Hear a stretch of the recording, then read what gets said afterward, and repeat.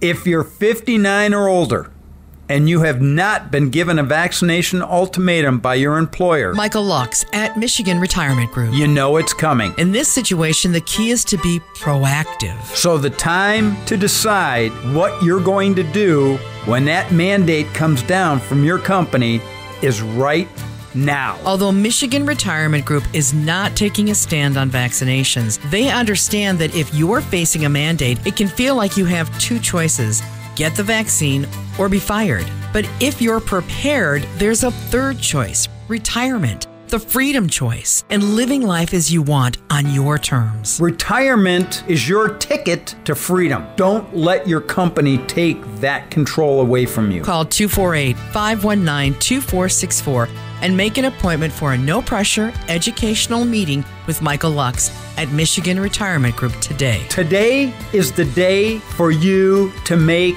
the freedom choice. That's 248 519 2464.